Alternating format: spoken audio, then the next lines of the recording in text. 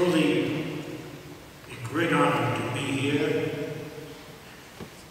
and to celebrate Rabbi Gary Bretton-Granatoor's 25th anniversary in the record.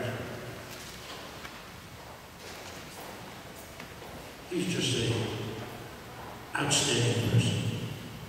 He was my best student at Hebrew Union College. He was in my Talmud class. And I was so impressed with him that when he was ordained, I invited him to become my assistant regional director of New York. And then shortly thereafter, he became associate director. In fact, the first associate director of any region. That's Ken. So as I stand here, I, I think back the time of World War II.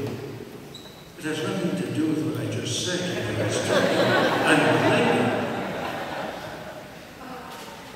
When Eisenhower was appointed general of the armies, and he was invited to England to establish his headquarters.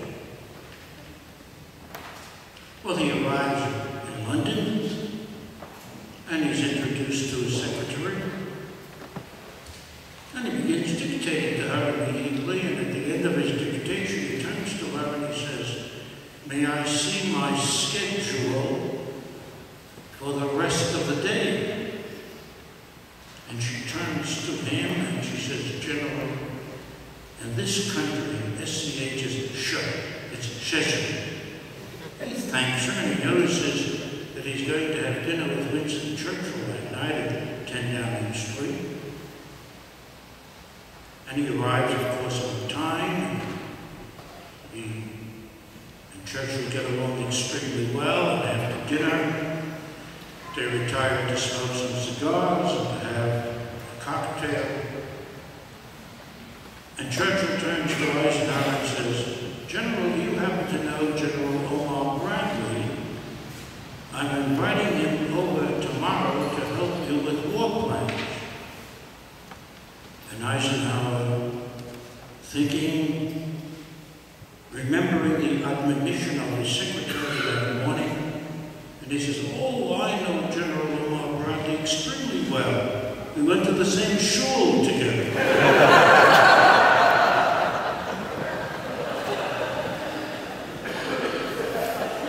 But Rabbi Gary is such an outstanding student and wonderful rabbi that at least permit me to give a Devar Torah in his honor. I'm sure all of you are familiar with the story of Adam and Eve and how Eve gave Adam the fruit. What was that fruit, by the way?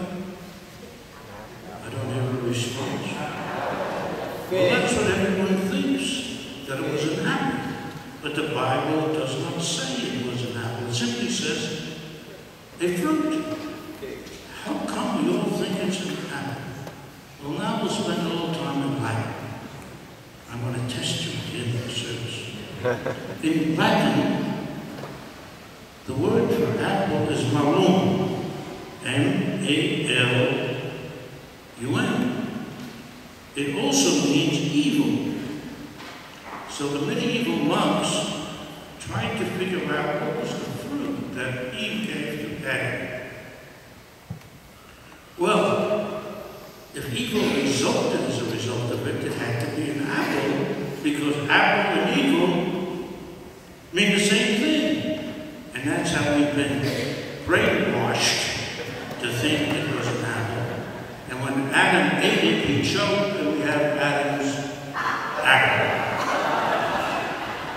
That's honor of And I want to thank Leslie, by the way, for arranging my presence here today.